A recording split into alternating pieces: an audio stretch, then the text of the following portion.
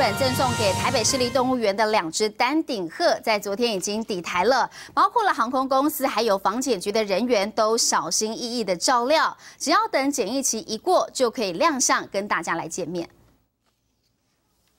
飞机机舱门开启，送下来这个方形白色箱子，里面是来自日本北海道贵客丹顶鹤比格和桂华。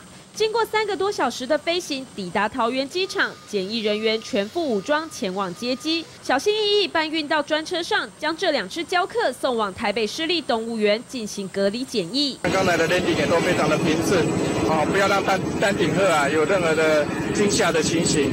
它是处于比较在寒带的地方，啊，需要的温度也是。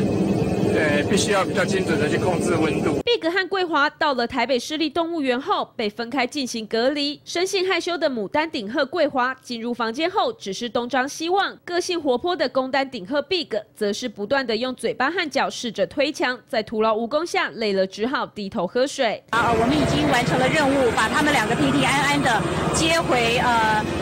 台湾啊，我们觉得非常的开心。接下来，我们市立动物园会以呃最严谨的一个态度、最专业的一个精神，来好好的照顾 Big 跟桂华这对非常珍贵的丹顶鹤。来到台湾定居的 Big 和桂华，经过隔离观察期后，只要健康状况良好，台湾民众很快就可以见到他们了。民事新闻周炳瑜桃园报道。